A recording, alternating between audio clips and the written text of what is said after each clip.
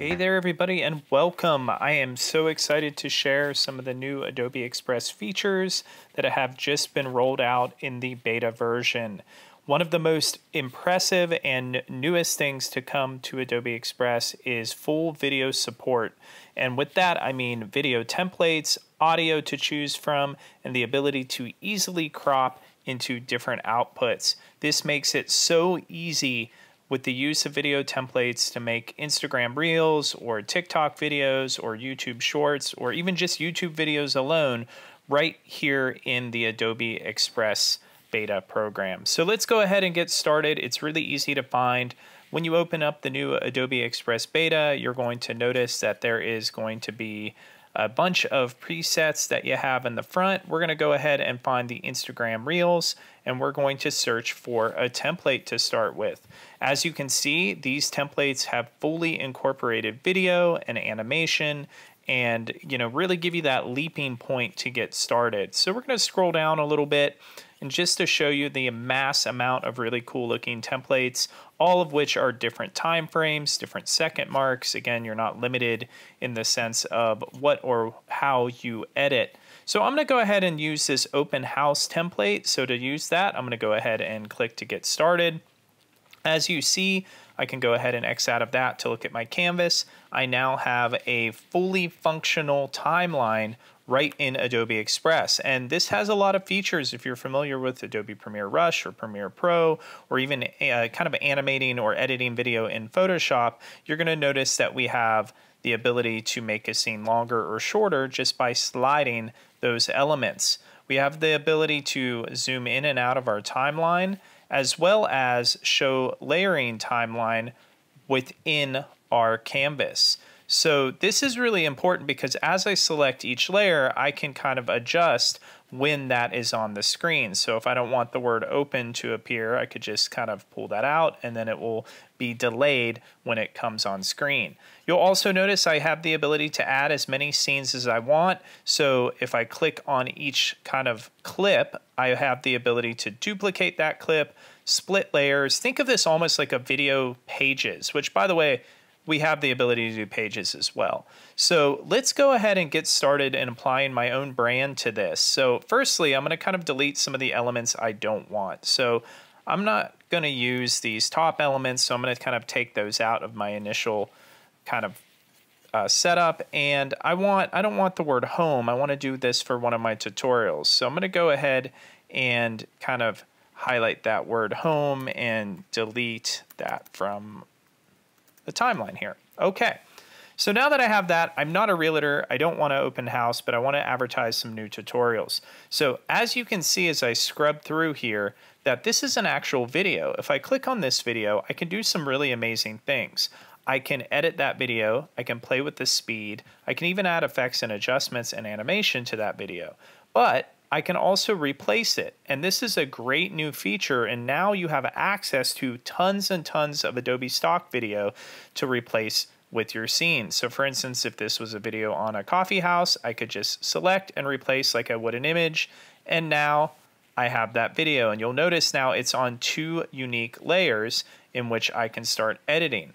Well, I want to use one of my own videos. So I'm going to hit replace one more time, go to upload from device, and navigate over to one of the screen recording videos we have here. So now that I have that video on the screen, once again, I can edit that clip just to show what I want the viewer to see. So we're going to edit quite a bit out of this clip here. And the cool part is you can split these clips. You can you can do all sorts of stuff with your your kind of seeing here. And you'll notice now that I kind of start editing, I have the ability to kind of change all of the timing of these different clips. So instead of open, I'm going to type new. And instead of house, I want to type double click here or hit Command A, tutorial. And that's a little too big, so Command A to select it. And I'm going to just type 250, maybe a little lower here, 240. That fits perfectly. All right. Now that I have that going, it's still not on my brand. So I want to change the background to my brand color. So I'm going to go to the background color and I'm going to have my brand already loaded. You can build your brands on the home page and you can build things like your your logos or the font uses and all sorts of things. So I'm going to start by just adding a yellow backdrop. That looks really good. I want to change these typefaces, so I'm going to hold shift and select them both. So I'm going to open the font menu and next to my library, I'm going to navigate down to my brand which is going to unlock commonly used fonts I use. Awesome, really quick to do this. And then the final thing I kind of want to add in here is one of, or is my logo.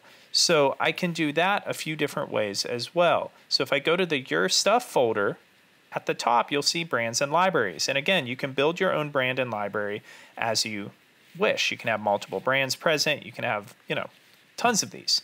So here is my logos. So I'm going to go ahead and drag and drop that logo. Give it a second to load. There we go. And we're going to just put that kind of at the top, maybe in the top corner. So that looks pretty good. I love those smart guides. They make life a lot easier.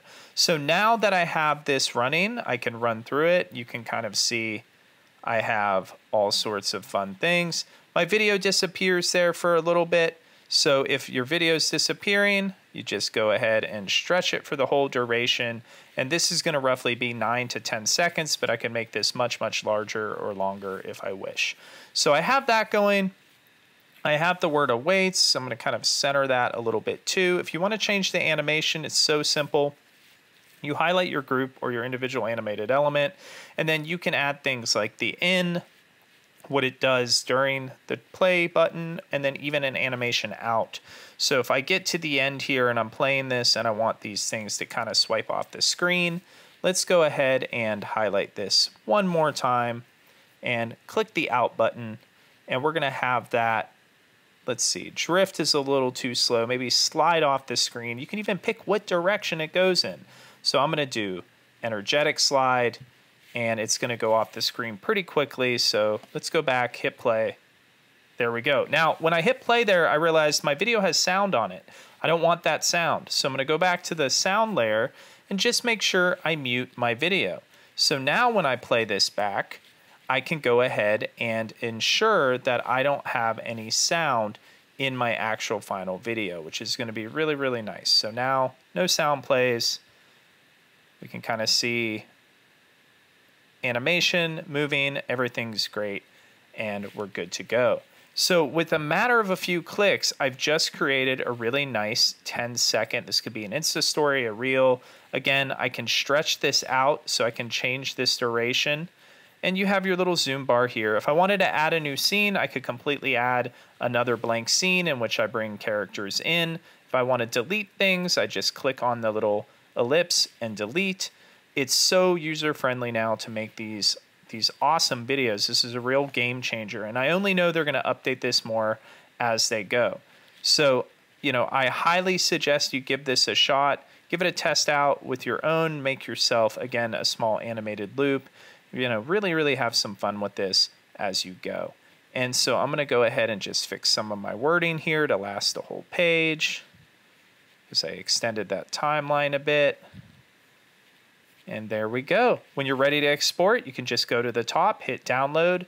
You can export now in 720, 1080, or catch this, even 4K if you're ready to kind of put that on YouTube or a platform that supports that. We can even go and just support uh, the PNG. So if again, I want to just kind of create a thumbnail for that, I can do that quickly, hit download again, and then through a matter of a few seconds, it's going to export my very own MP4 file in which I can upload to any of the social media that utilize that video or the vertical video format. Again, this is a game changer for Adobe Express. More features will be added from what I hear in, in the next coming up months.